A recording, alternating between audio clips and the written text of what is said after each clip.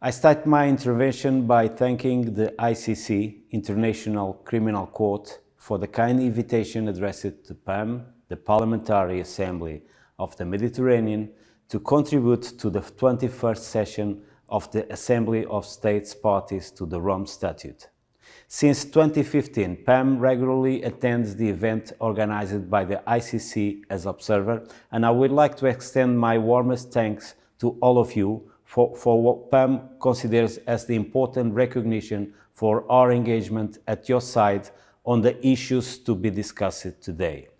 On February 21st, PAM condemned in the strongest possible terms the brutal aggression launched by Russia against Ukraine and expressed its full support to the international community to restore peace and justice.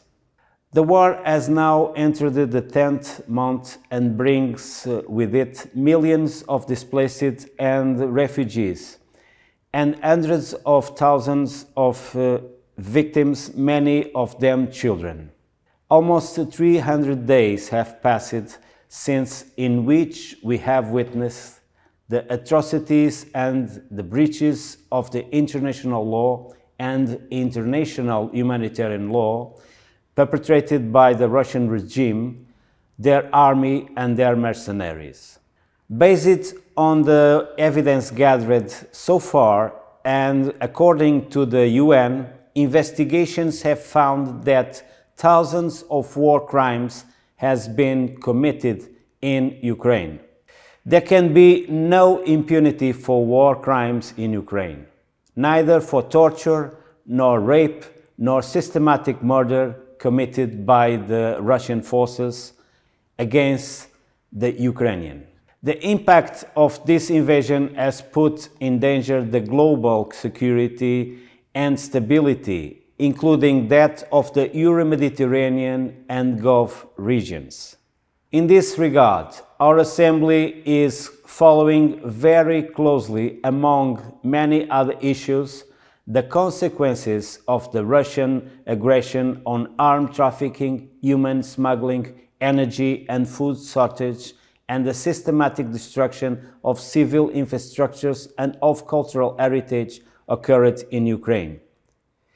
Not to mention the involvement of Iran, which not only violates international sanctions, but also poses a serious threat Uh, many PAM countries are concerned that Iran may supply the same drones used in Ukraine to armed groups in Lebanon, Gaza, Yemen, or the West Sahara, among others.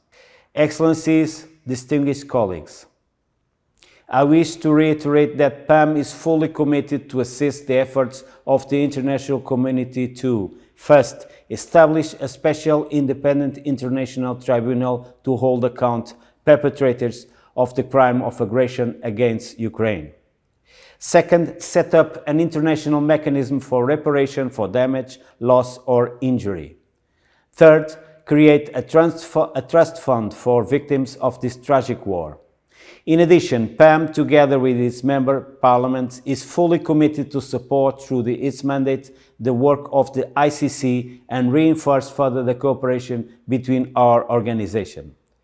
The PAM Secretariat shall therefore duly refer to all PAM delegations to outcome of this conference and will seek the cooperation of the national parliaments in the implementation of the necessary actions at the legislative level. I thank you all for the attention.